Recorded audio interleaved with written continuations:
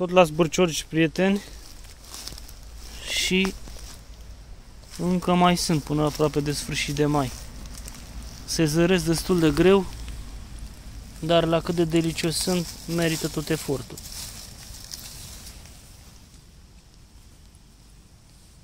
Se aseamănă și cu frunzele, sunt destul de greu de zărit. Trebuie atenție sporită.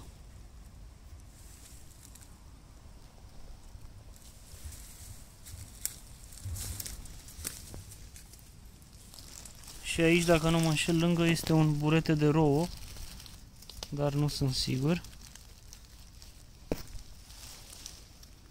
Da, este burete de rouă. Și acestea sunt comestibile.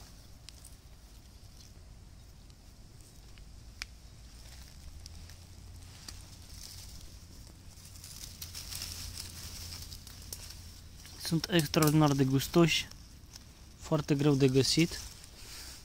În fiecare an apar în același loc.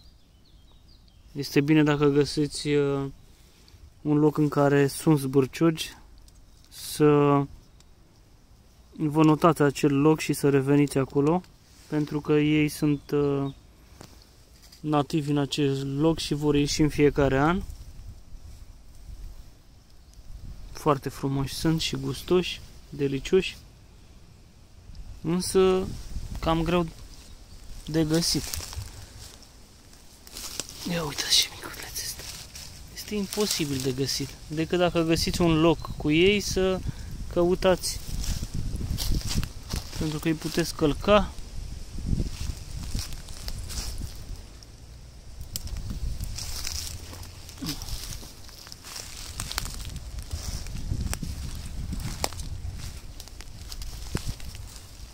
Și aici încă unul, dar foarte greu.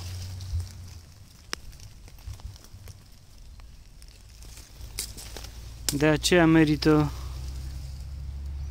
și gustul acesta este alt tip. Este cu pălăria de desubt, este separată. Este un alt tip de zbârciog.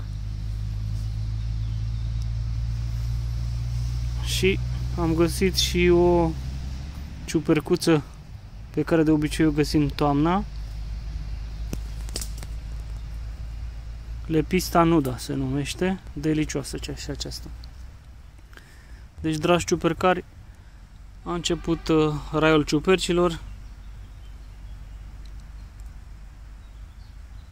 Așa că vom străbate pădurile în căutarea ciupercilor comestibile. Mare grijă, luați-vă un ghid pentru ciuperci deoarece sunt destul de otrăvitoare unele dintre ele și este bine dacă nu sunteți cunoscători să aveți acel ghid.